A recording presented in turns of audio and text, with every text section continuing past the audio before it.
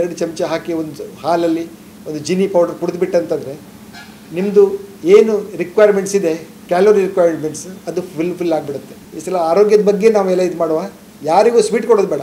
ಎಲ್ಲರಿಗೂ ಒಂದೊಂದು Jeeni powder ಕೊಟ್ಬಿಡೋಣ. S ಮುಂದಿನ ವಿಧಾನಸಭಾ ಕ್ಷೇತ್ರ ಬೆಳಗಾವಿ ಉತ್ತರ ವಿಧಾನಸಭಾ ಕ್ಷೇತ್ರ. ಸೊ ಈಗ ಇಲ್ಲಿ ಬಿಜೆಪಿಯ Anil Benake M L A ಆಗಿದ್ದಾರೆ. ಸೊ ಅವ್ರಿಗೆ ಅಪೋಸಿಟ್ ಆಗಿ ಕಾಂಗ್ರೆಸ್ನ ಫಿರೋಜ್ ಶೇಟ್ ಕ್ಯಾಂಡಿಡೇಟ್ ಆಗ್ಬಹುದು. ಇಲ್ಲ ಅವ್ರ ಮಗ ಅವ್ರ ತಮ್ಮನಿಗೆ ಟಿಕೆಟ್ ಕೊಡಬಹುದು. ಸದ್ಯಕ್ಕೆ ಫಿರೋಜ್ ಶೇಟೆ ಅಲ್ಲಿ ಈ ಹಿಂದೆ ಸೋತೋಗಿದ್ರು ಕಾಂಗ್ರೆಸ್ನಿಂದ.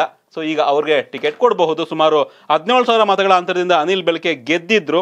ಸೊ ಇಲ್ಲಿ ಸ್ವಲ್ಪ ಮುಸ್ಲಿಮರ ಓಲೈಕೆ ಜೊತೆಗೆ ಜಾರಕಿಹೊಳಿಯ ಫ್ಯಾಕ್ಟ್ರಿ ವರ್ಕೌಟ್ ಆಗಬಹುದು ಅನ್ನೋ ಒಂದು ಚರ್ಚೆ ಆಗ್ತಾ ಇದೆ. ಹೀಗಾಗಿ ನಮ್ಮ ಕರ್ನಾಟಕ ಟಿವಿಯ ಅಕ್ಟೋಬರ್ ಸರ್ವೆಯಲ್ಲಿ ಬಿಜೆಪಿ ಇಲ್ಲಿ ಮುನ್ನಡೆಯನ್ನ ಕಾಯ್ದುಕೊಂಡಿದ್ರು. ಅನಿಲ್ ಬೆನಕೆ ಮುನ್ನಡೆಯನ್ನ ಕಾಯ್ದುಕೊಂಡಿದ್ರು. ಆದರೆ ಈ ಒಂದು ತಿಂಗಳಲ್ಲಿ ಸ್ವಲ್ಪ ಚೇಂಜಸ್ ಕಾಣಿಸ್ತಾ ಇದೆ ಈ ಒಂದು ಬೆಳಗಾವಿ ಉತ್ತರ ಕ್ಷೇತ್ರದಲ್ಲಿ. ಈಗ ನಮ್ಮ ನವೆಂಬರ್ ಸರ್ವೆಯಲ್ಲಿ ಫಿರೋಜ್ ಸೇಟ್ ಅಂದ್ರೆ ಕಾಂಗ್ರೆಸ್ ಇಲ್ಲಿ ಮುನ್ನಡೆಯನ್ನ ಕಾಯ್ದುಕೊಳ್ತಾ ಇದೆ. ಶಿವ ಏನ್ ಫ್ಯಾಕ್ಟರ್ ಚೇಂಜಸ್ ಆಗ್ತಿದೆ? ಕಾಂಗ್ರೆಸ್ ಮುನ್ನಡೆ ನಾಟ್ ಫಿರೋಜ್ ಸೇಟ್ ಹ್ಮ್ ಅದೇ ಕಾಂಗ್ರೆಸ್ ಸತೀಶ್ ಜಾರಕಿಹೊಳಿಗೆ ಈ ಫಿರೋಜ್ ಸೇಟ್ ಕೊಡೋದ್ ಬೇಡ ಅಂತ. ಹ್ಮ್.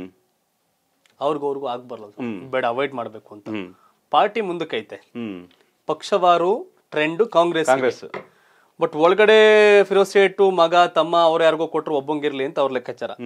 ಇಲ್ಲಿ ಸತೀಶ್ ಅದೊಂದ್ ಸ್ವಲ್ಪ ಮುನ್ಸಿದೆ ಅವ್ರು ಸತೀಶು ಲಾಸ್ಟ್ ಟೈಮ್ ಏನೋ ಆರಾಮಾಗಿದ್ರು ಕಿರಿಕಿರಿ ಮಾಡೋರು.